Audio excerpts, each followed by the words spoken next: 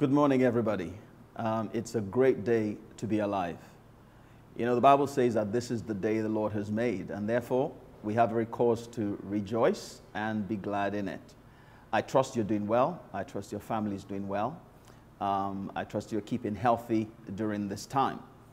We're going to get straight into the Word. Over the next couple of weeks, I'm going to be um, sharing a topic uh, which is very close to my heart, and I believe the Lord will have me share at this time.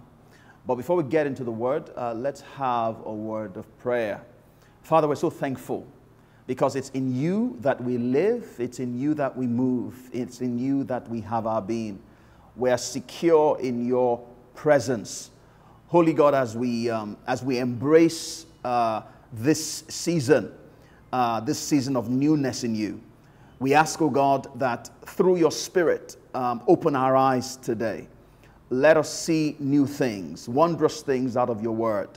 Our desires to be transformed through the revelation of Jesus Christ. Let that be our experience today, wherever we are, in every home, in every family, whether we're in close proximity or we're in other shores. Lord, let your revelation light shine into our hearts.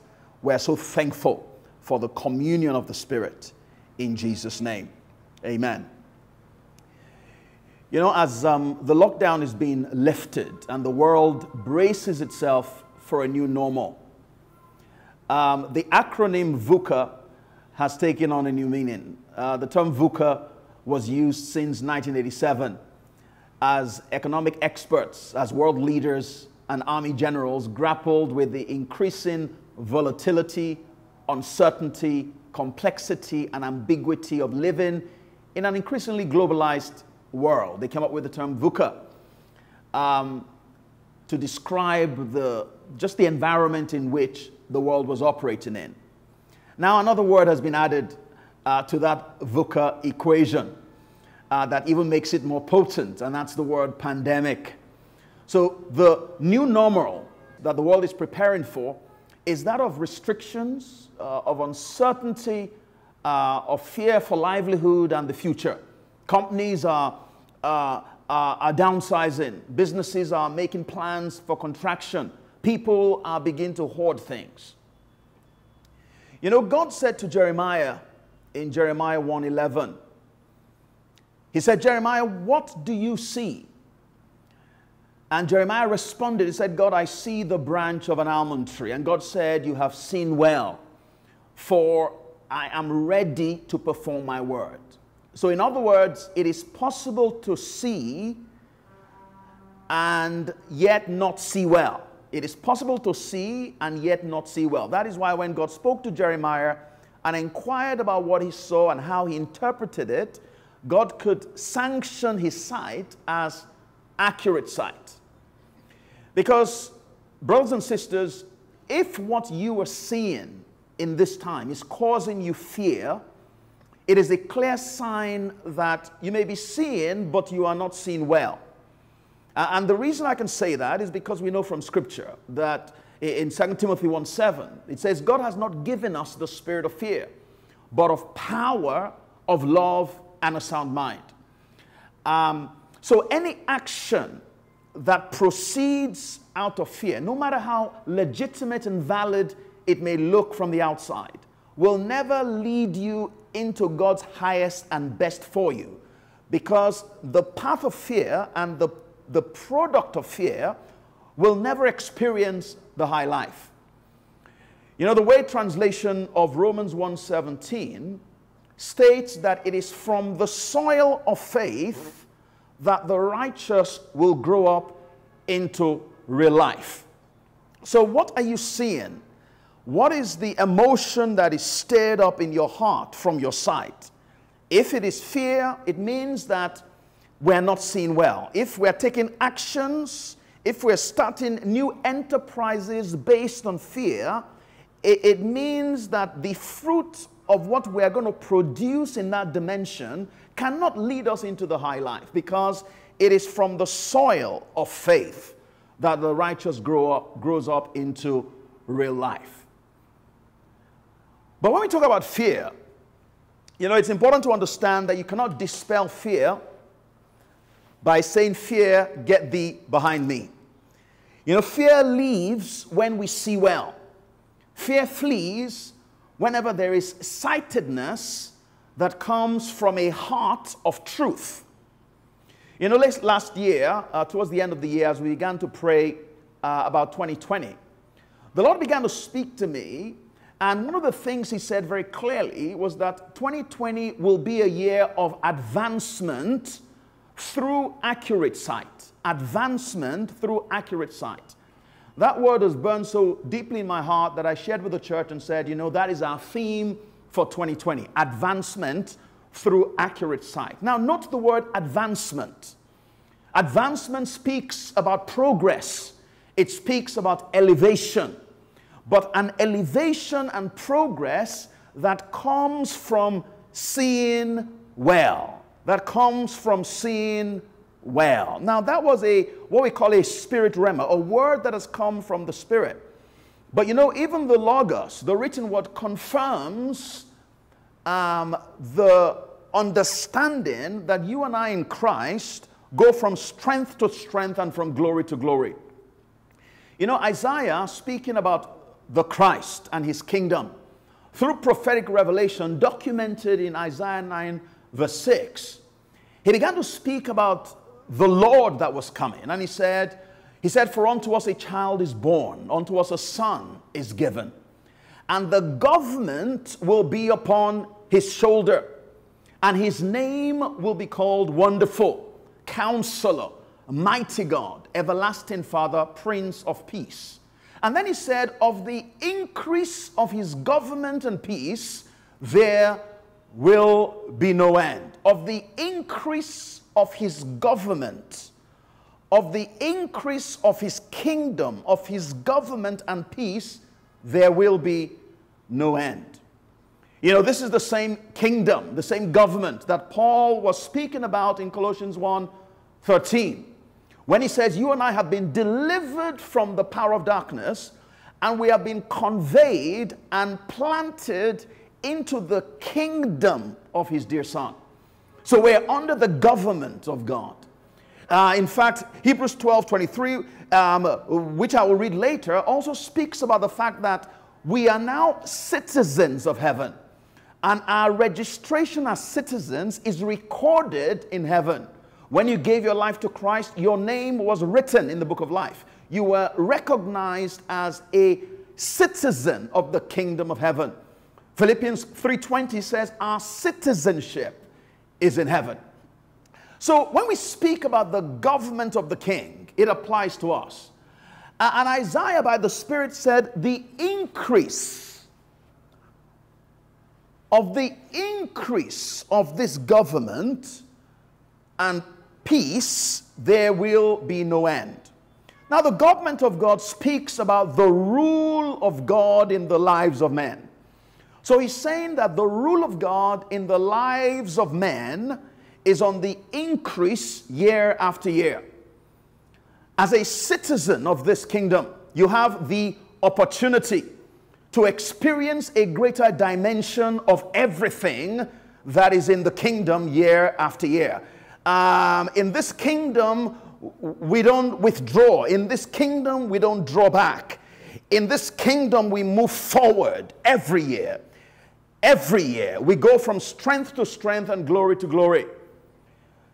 In this kingdom, there's an increase of our experience of God's government.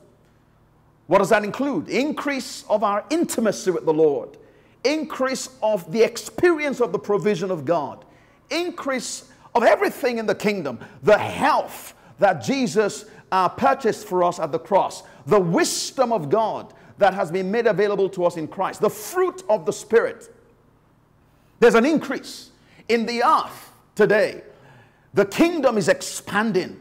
There's an increase in salvations, an increase in healings, an increase in the impact of the kingdom in the lives of men. And it says, Those who walk in under this reign can walk in greater peace year upon year. Hallelujah. There's an increase of his government, there's an increase of his peace. And that increase will never end. That increase will never end. That is accurate sight. That is based on truth That is the sightedness that is required to dispel fear. But, but beyond just reading a scripture, how do we build this type of sight? How do we see well um, as we get up in the morning, as we go about our business, as we interact with the affairs of this life? How do we, in seeing, always see well? I believe that we must expand our field of vision beyond what we are seeing around us and what the media is communicating. We must expand our field of vision to embrace what I call the full picture. The full picture. We must train our eyes to see well. We must train our eyes to see well. You know, we actually don't see with our eyes, we see with our hearts. Your field of vision is actually determined by your heart, not your eyes. Now, why do I say this? Well, turn with me to Second Corinthians chapter 6, verse 11. I'm going to be reading the Message Bible translation um, because Paul was giving the Corinthians some insight into how to begin to expand their field of vision. He said, Dear, dear Corinthians, I, can, I can't tell you how much I long for you to enter this wide open, spacious life. In other words, Paul was saying that there is a wide open, spacious, spacious life that is available to you and I. And in the case of the Corinthians, it was available to them as well, but they were not experiencing it. So there's a wide open, spacious life available to you wherever you are in your experience with God right now. If you're a member of this kingdom, there is a wide open, spacious life that is available to you right now. Let's continue the passage. He said, We didn't fence you in we didn't fence you in. So this means that the Corinthians were experiencing some kind of restriction in their lives, in their expression of life. And restriction is not something that we are unfamiliar with. You know, even before the pandemic and before the lockdown, restrictions in terms of financial restriction. I, I can't do that because I don't have enough money. Uh, I am not like others that have the opportunity. I don't have the opportunity. Uh, they've taken my job. I'm trying the best I can. I can't seem to get a new one or a better one. Restriction in health, restriction in wisdom. He says, We didn't fence you in. Paul says, Yes, you are experiencing real restriction. But, but let us uh, examine this and, and, and see the true picture. Let's continue. He says, the smallness you feel, the smallness you feel comes from within you. That restriction that you are experiencing in your life is actually uh, not just external, it began in your heart first. He said, The smallness you are feeling, the smallness you are experiencing comes from within you. Your lives are not small, but you are living them in a small way. He said, I'm speaking as plainly as I can and with great affection. Open your lives, live openly and expansively. In other words, he's saying there's a bigger world you can't see because of the restriction in your heart. There's a bigger world you can't see because of the restriction in your heart. You see, to see well, we must expand our field of vision to embrace the full picture. We must remove the blinkers that we have allowed the world to set in our hearts. I'll say that again. We must remove the blinkers that the world, we have allowed the world to set in our hearts. We must remove the blinkers that we have allowed the world to set in our hearts.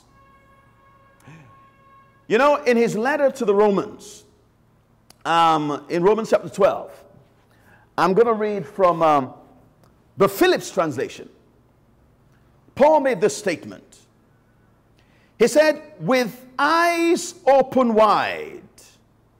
He says, with eyes wide open to the mercies of God.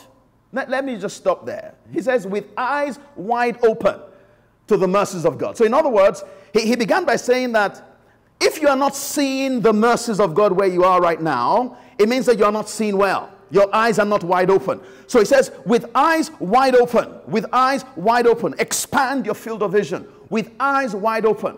You know, even in Jeremiah's time, when Jeremiah was going through and the people of Israel were going through great anguish and lamentations, and Jeremiah, you know, was inspired to write the book of Lamentations. Even in the book of Lamentations, he had to make this concession in Lamentations 3:23. He said, "Through the Lord's mercies, we are not consumed." because his compassions fail not. They are new every morning.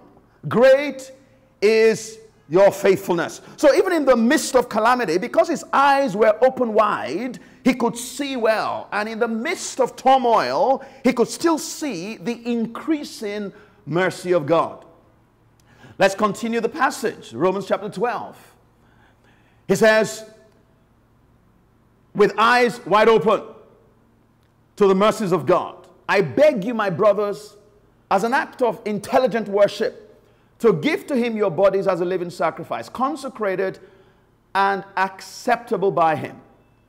Don't let the world around you squeeze you into its own mold. Don't let the world around you, don't allow the world around you to squeeze you into its own mold, but let God remold your minds from within so that you may prove in practice. Oh, come and repeat with me. In practice, that the plan of God for you is good, meets all his demands, and moves toward the goal of true maturity. When our eyes are open wide, um, when we resist the squeezing of the world, we, in practice, we will demonstrate the plan of God in our lives. a good plan. It's a great plan. Paul says, resist that active action of the world system. Resist that active. You see, the world system is not passive. The action of the world system is active, and you have to actively resist it. Resist the active action of the world system to restrict your life by squeezing your heart into its way of seeing things. That's what the world system does. It squeezes our hearts because if it's going to restrict your life, it's going to begin by restricting your heart. If it's going to restrict your sight, the, the restriction has to come in your heart. So the world system, which is satanic in its origin, um, aims to squeeze your heart into its way of seeing things, its narrow field of vision. Paul says, allow the Lord to help you remove those blinders as you submit to his process to remold your heart so that he can lead you to his destination of full maturity in him. You know, the kingdom of God is righteousness, peace, and joy in the Holy Ghost. Full maturity in God looks like righteousness increasing in your life and through you. Looks like righteousness, peace, and joy in the Holy Spirit. That's what, that's what, uh, that, that is what an unrestricted heart looks like. You know, we see with our hearts. So if our field of vision is determined by the world, we will be squeezed into a narrow life expression. So, my brethren, our field of vision must be expanded. Our field of vision must be expanded. Our field of vision what? Must be expanded in helping them expand their field of vision, Paul postulated to the Corinthians what must be a new normal for them. You know, the world is talking about a new normal. Be, be careful about um, receiving your definition of a new normal for the, from the world because it's going to restrict you, it's going to constrict you, and it's going to blind you. There is a new normal that Paul advocated to the Corinthians. If you look at 2 Corinthians chapter 4, verse 18, and this must be our new normal. He says, While we do not look at the things which are seen, but at the things which are not seen. For the things which are seen are temporary, but the things which are not seen are eternal. The things which are seen are temporary, the things that are not seen are eternal. As for we, we as for us, we look at the things that are not seen. You know, in my Bible, in this section of 2 Corinthians chapter 4, um, from verses 16 to 18, it's been, it's been moved into a different, almost like a different paragraph that has a subtitle, and the title is Seeing the Invisible. Seeing the Invisible. You know, verse 16 begins with the phrase, Therefore, we don't lose heart. That's a great statement to make in these times. You know, these times are not new. They might be new for us, but they're not new. Paul says, therefore, we do not lose heart. Now, now whenever you see therefore, uh, like Brother Hagin used to say, find out what it's there for. Because the, the, the, the, it means that um, a foundation has been set prior to this statement that, that validates the therefore. So, why, why is it saying they don't lose heart? Um, in a few verses before this, in, in verse 13, you know, Paul says that since we have the same spirit of faith, according to what is written, I believed and therefore I spoke, we also believe and therefore we speak. Now, verse 18 that we read explains why they had the spirit of faith.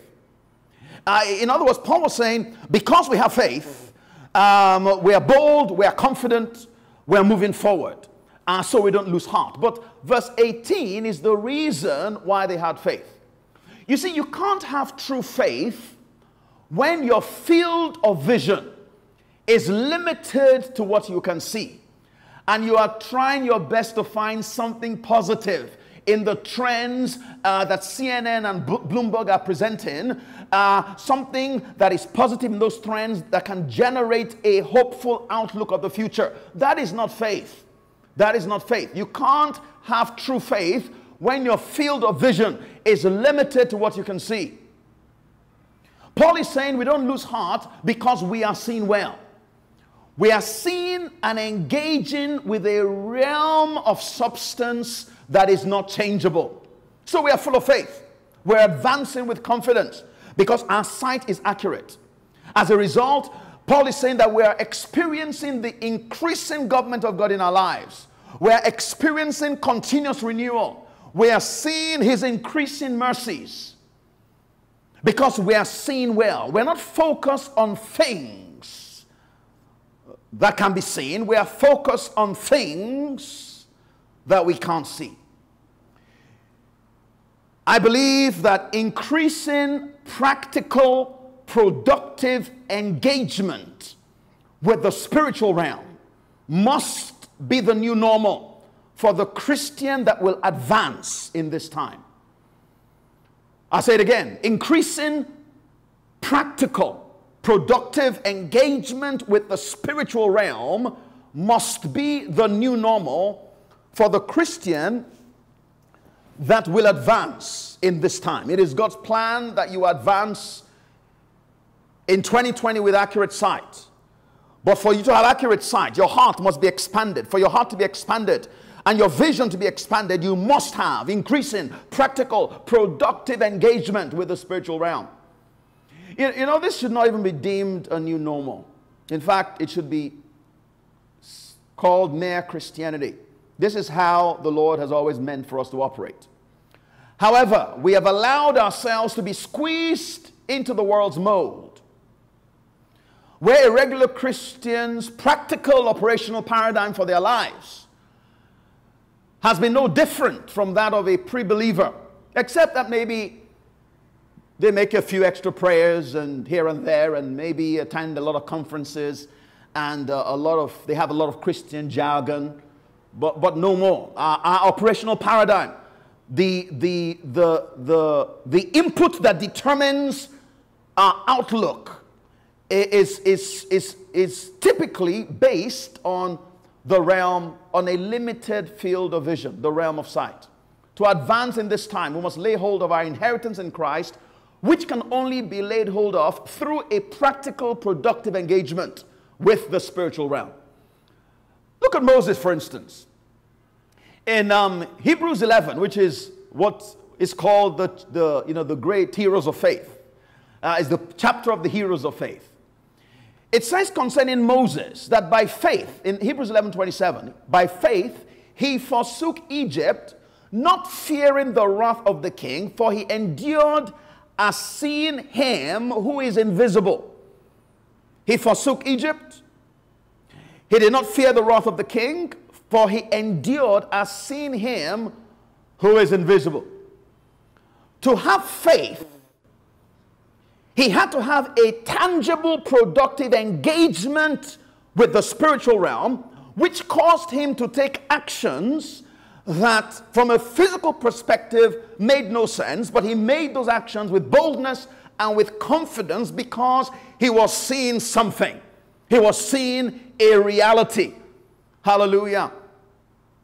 You know, in Ephesians chapter 1, verse 3, uh, the Passion Translation puts it this way it says, Every spiritual blessing in the heavenly realm, in the heavenly realm, has already been lavished upon us as a love gift from our wonderful Heavenly Father, the Father of our Lord Jesus Christ. All because He sees us wrapped in Christ. This is why we celebrate Him with all our hearts. Every spiritual blessing in the heavenly realm has already been lavished upon us as a love gift. Meaning, it is not something we have to work for. As you come into Christ, as a love gift, celebration of being a citizen of heaven, of being in the Christ realm, the Father takes everything that heaven has, every resource, every blessing, and makes it available to you in the heavenly realm. Every spiritual blessing is ours by right in Christ. But the Father did not transfer those blessings to the earth realm when we got born again. He left them in the heavenly realm for us because we have access to them there. We are spiritual beings that exist in the spiritual realm because you are spiritual in body. Your spirit, right now, you who lives in a body, your spirit exists in the spiritual realm. You can't touch you, you can only touch your body. So your, the spiritual realm is not away from you. The spiritual realm is here because that is where you exist. We are spiritual beings that exist in the spiritual realm. We are citizens of his kingdom, of which there is only increase. We have been lavished with every spiritual blessing in, in the heavenly realm. What does all this mean with respect to seeing well? You see, it means that the definition of reality, of what we consider to be reality, must change. I'll say it again. If we're going to expand our field of vision, if we're going to advance, we must have accurate sight because advancement is your portion in this time. Um, but we must resist the squeezing of the world system. And the way we do this is we must begin by redefining what reality means. Our definition of reality must change. You see, the world system, which I say again is satanic, has blinded us by, by selling us a wrong definition of reality. We have been told that reality is the physical realm, is the realm you can see. Reality is what you can see, feel, taste, hear, and touch. That is reality. Science, the, the world of science is about what they call reality, the observable universe, the way the universe works and interacts. Reality is not this physical realm. That's wrong. Reality is the physical realm plus the spiritual realm. The physical realm plus the spiritual realm. Again, Paul in 2 Corinthians 4:18 said, he said that there are things in both realms. There are things which are seen, there are things which are not seen. Both realms are real. But with one realm, you can interact with it only physically. That's the physical realm. But with the other realm, which is much more powerful, the much more powerful, unchangeable, eternal realm, you interact with it spiritually, with the spiritual part of you, the core of your being, the part of your being that was created in the image of the eternal God Himself. It is with that part that we interact with the things in the spiritual realm. So we must begin to see well by embracing an accurate definition of reality. An accurate definition of reality. You know, even scientists tell us that matter makes up less than 5% of reality. That might come to you as a surprise. They say that the rest of it they can't see, they can't observe, they don't exactly know what it is, but they know it's there, so they call it dark matter and dark energy. It's like it's out there, but we don't know what it is. So, what they're saying is that everything you have ever seen, known, and experienced, everything that scientists have ever seen or observed in their most powerful telescopes, and the things they haven't seen but know exist somewhere in the galaxies far, far, far away, they're saying it's still just less than 5% of what is out there. So, everything in the world of pandemics and the VUCA universe that are giving us cause for fear or causing contraction thinking is all part of that less than 5% of reality. So, the question is how would we react if we could see well and interact with the full picture of reality? So, we must redefine reality, uh, you know, not in our heads, but in our hearts. Because you can write this down and say, Yes, I know. But it, uh, we, we must redefine reality in our hearts and start engaging with full reality because that is where our, our, the secret to our advancement lies. This applies to you if you're a stockbroker or an investment banker or a mother raising children or a, or a new business owner or you are an employee or a government uh, in the area of government, in whatever sphere you are. You are a member of the kingdom of God. And the increase of his government and peace is meant to be experienced by you in this time. We must redefine reality. When we think of reality, the bulk of reality is the spiritual realm because it's the it's it's the eternal realm where there are things there. Hallelujah. We are there. There are things there. There are things there. You know the center of all reality the center of all reality and this is where we we have to re, re, realign our hearts. Yeah because the center of all reality is the throne of god not just the center of our reality, but the center of all reality is the throne of God. So see well, see well, see well. The center of all reality is the throne of God. That is where all bearings must be taken from. That is ground zero. That is the starting point, the base of all activity. That is where everything receives its origin. And that is where every created being will find its final destination the throne of the Ancient of Days. So lift up your eyes and look at the throne. That is the center of all reality. To give you a clear picture of the throne, I'm going to read Revelation chapter 4. I, want us to remap our, our, our, our ground zero. Our ground zero. I want us to lift up our eyes I want us to see. I want us to see. I want us to see well. In Revelation chapter 4, verse 2, I'm going to read from the Passion Translation again. It says, Instantly I was taken into the spiritual realm, and behold, I saw a heavenly throne set in place, and someone seated upon it. His appearance was like sparkling, was sparkling like crystal and glowing like a carnelian gemstone. Surrounding the throne was a circle of green light, like an emerald rainbow. Encircling the great throne were 24 elders, 24 thrones with elders, in glistening white garments, seated upon them, each wearing a golden crown of victory. Uh, uh excuse me, this is not um, excellent prose. This is not a this is not metaphorical language. He entered the spiritual realm and saw reality. This is reality. He says, and pulsing from the throne were blinding flashes of lightning, crashes of thunder and voices.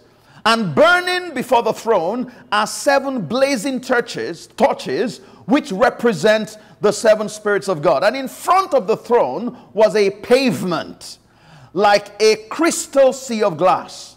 Around the throne on each side stood, stood four living creatures, full of eyes in front and behind. The first living creature resembled a lion, the second an ox, the third had a human face. The fourth was like an eagle in flight. Each of the four living creatures had six wings full of eyes all around and under their wings. They worshipped without ceasing, day and night, singing, Holy, holy, holy is the Lord God Almighty. The was, the is, and the coming. And whenever the living creatures gave glory, honor, and thanks to the one who is enthroned and who lives forever and ever, the 24 elders fell face down before the one seated on the throne. And, and they worshiped the one who lives forever and ever.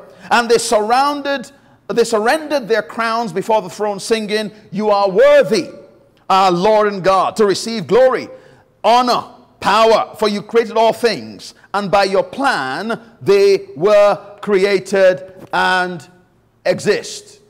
So lift up your eyes and look. That is your Father when you call to God, that is where you are calling to for help. That is where your wisdom comes from. Every blessing in that realm that you have just seen is yours. Every resource in that realm is yours. That is where your protection comes from. Oh, what are you seeing when you call to God for protection? What are you seeing when you say, Father, I plead the blood of Jesus when you declare that to the angels of God that ex- excel in strength and do his bidding and hearken to the voice of his word, when you declare that I'm a child of God and the angels keep me in all my ways, what are you seeing?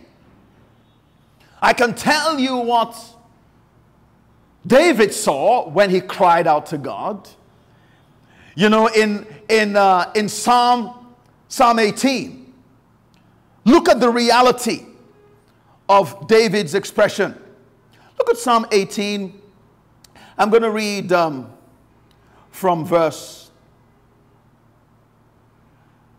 I'm going to read from verse 11. Let me, no, let me start reading from verse 6.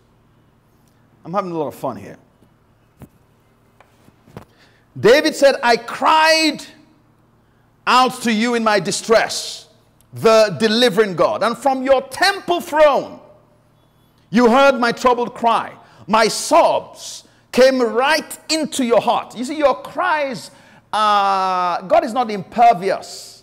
The, the Bible may, may say that he's, you know, uh, he, he, we don't have a high priest that is not touched with the feeling of infirmities. He's saying that because it's, it's real. It's real. It's real.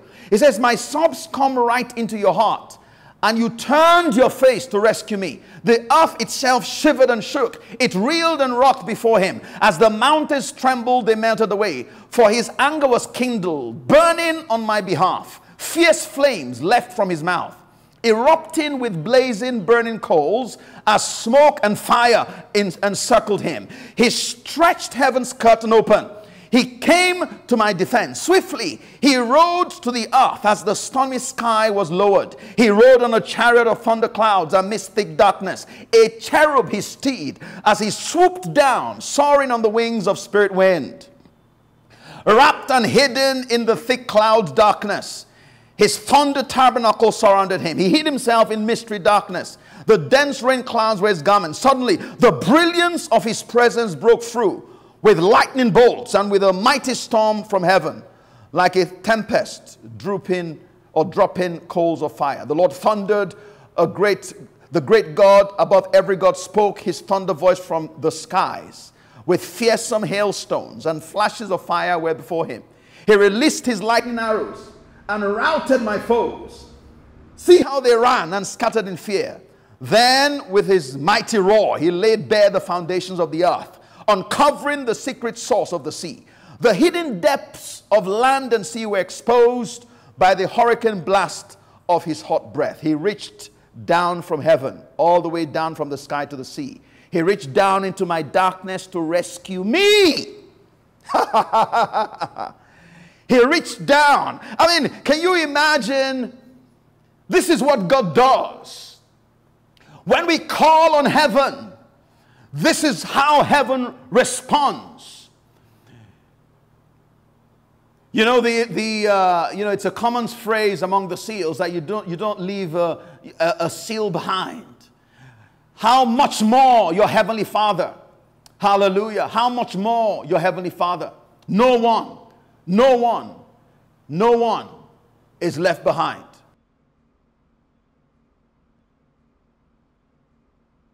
You know, this is not poetry. This is how the kingdom responds. Because God is no respecter of persons. Jesus is the same yesterday, today, and forever. Um, the reality of the kingdom, we must see well. We must see well. We must take our reference point from the throne. You know, look, look again at um, Hebrews, uh, Hebrews 12. Let's look at Hebrews 12, verse 22, as I bring this part to a close this morning. Oh, we must take our reference point from the throne. It must be a, a reality that burns in our hearts. Hebrews 12, verse 22 says, By contrast, we have already come near to God in a totally different realm, the Zion realm. For we have, we've entered the city of the living God, which is the new Jerusalem in heaven. We have joined the festal gathering of myriads of angels in their joyous celebration. And as members of the church of the firstborn, all our names have been legally registered as citizens of heaven. And we have come before God, who judges all and who lives among the spirits of the righteous who have been made perfect in his sight. And we have come to Jesus, who established a new covenant with his blood sprinkled upon the mercy seat, blood that continually speaks from heaven forgiveness, a better message than Abel's blood that cries from the earth justice. You know, when we read this, is this what our heart has embraced? As we look at this in faith, we must allow the Lord to remold our minds, to remove the restrictions, to help us see that the field, um, the field is wider than what you can see physically.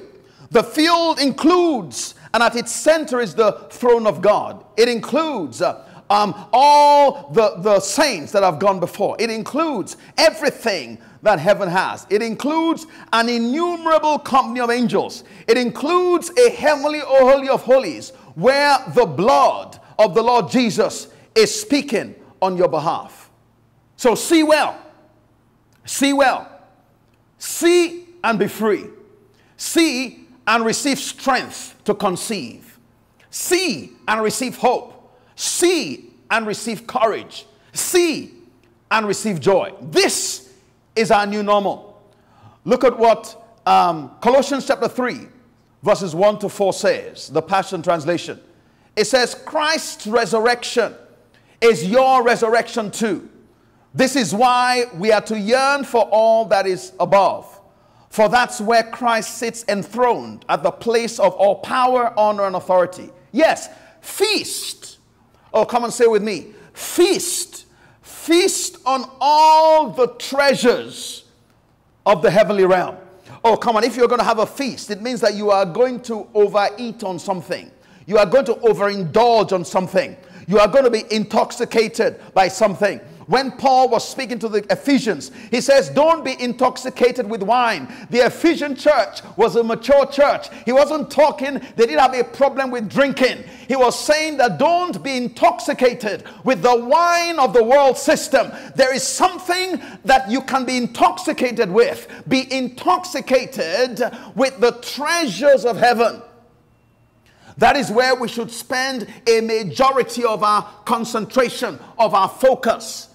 That is where we should receive our direction. That's where we should receive our information. We're not saying don't watch CNN, but receive more from heaven's network than you get from CNN. Let, if you are feasting on heaven's network, if you are feasting on the report of the Lord, if you are feasting on what heaven says you have, you are not going to be molded into the world's way of seeing things. Restrictions will be removed from your heart. Your sight will be broadened because you are seeing in the midst of calamity on the earth, you are seeing an innumerable company of angels that are walking with you. You are seeing the grace and the power of God available on your behalf. But I haven't finished this, the, the passage. It says, Feast on all the treasures of the heavenly realm and fill your thoughts with heavenly realities and not with the distractions. Oh, come on. It says, not with the distractions. You are going to get information from the earthly realm that's going to distract you. And that is why you need to have feasted on something that is substantive. Your crucifixion with Christ has severed you, severed the tie to this life. And now your true life is hidden away in God in Christ. And as Christ Himself is seen for who He really is, who you really are who you really are will also be revealed, for you are now one with him in his glory. You know what the Bible is telling us is that we do not know who we really are. We do not know who we really are. The revelation of who you really are is not going to happen when Christ comes. The revelation, or not, is you don't have to wait for when Christ comes. Christ can come in your life right now. If you feast on the reality of the heavenly realm, the reality of who you really are will dawn on you. I remember a testimony that was given by Brother Copeland years ago.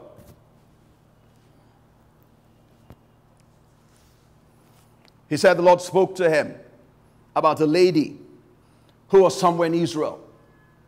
And he said, Ken, I'd like you to take your plane.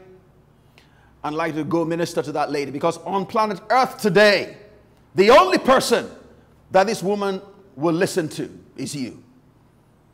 So fuel your jet, go to, I think it was in Israel, and go minister to her and come back home. And he was in prayer and he was like, you know, struggling with the Lord. And he said, Lord, do you know how much fuel it would take to go to Israel? Do you want me? it, it is, it doesn't seem to be prudent, um, you know, management of the resources that you have given me in this ministry. Is there no other person that can go and speak to this woman? And the Lord said to Kenneth, He said, uh, Kenneth, if any of your sons was in trouble, is there anything you will not do for them? Is there anything? He said, That is my daughter. Oh, I'm feeling the compassion of the Spirit right now. He said, That is my daughter. There is nothing I will not give. There is no resource I will not expend on the behalf of my daughter. You and I must feast on the realities of, of the Father's love. We must feast on the realities of heaven because only then will we come into a true understanding of who we are. The picture we see in, in, in Psalm 18 is a picture of reality, what God will do for anyone in his kingdom. So I prophesy to you from now on, you will see an open heaven and you will see yourself permanently seated in Christ at the right hand of the Father. It is from Him that you will see the affairs of your life. It is through Him that you will frame your life in the earth. I want us to do this song together. I'm going to have the words shown just below. It's a very simple song that's taken from Revelation 4 that we just read. It's one of the songs that's going to be published by High Life in the days ahead. To him who sits upon the throne and to the Lamb be blessed in glory, honor, power, and might, To him who sits upon the throne and to the Lamb, we magnify your name forevermore. Come on to him who sits upon the throne and to the Lamb. Be blessed and glory, honor, power, and might. Look with me to him who sits upon the throne and to the Lamb. We magnify your name forevermore. Oh, one more time to him who sits upon the throne and to the Lamb. Be glory, honor, power, and might to him who sits upon the throne and to the Lamb. We magnify your name forevermore. We magnify your name forevermore. Oh, we magnify your name forevermore. Let us see well. Let us see well. And let us walk like the sons of God in this time. It is a year of your advancement as you have accurate sight. Thank you for tuning in to our High Life broadcast. Um, it is important to remember that the person that is blessed is not the one that hears the word, but is the person that does the word. Take the word and feast on it. Feast on it. Feast on it. Let it, let it remap your paradigm. Let it recenter you. Hallelujah. Hallelujah. Look at true reality. Um, before I pray for you, I'm going to, uh, after, the, after I pray, we're going to play um, a, um, uh, a poem that was written by uh, my dear friend, uh, Pastor Femi Ogunbanwo, and it's being recited by my daughter, Zoella. Um, and, and it, it really, uh, I love this poem because it also shows us what our reality is. This is our new normal, people. This is our new normal. We must embrace this as the new normal. Hallelujah. As a new normal. The reality of God, the reality of us in His presence, the reality of all His resources, the reality of engaging with the spiritual realm. Next week, I am going to then uh, begin to talk about the river. Um, because as our, as our vision expands, then uh, the resources that we have access to, um, uh, our field of vision about those resources will expand as well. And that's what I'm going to be uh, talking about next week. So God bless you. Have yourself a wonderful week. Make it a productive week, uh, uh, a week of engagement with the realm of the Spirit, with your, with your Father and the resources of heaven. God bless you and see you next Sunday.